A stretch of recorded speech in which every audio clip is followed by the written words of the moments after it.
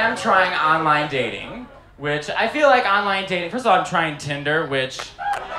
Oh, God. I mean, just like the swiping. I cannot be on Tinder because on Tinder, like, five minutes into Tinder, I turn into this, like, Victorian queen. I'm just like, no, no, no, no, no. no.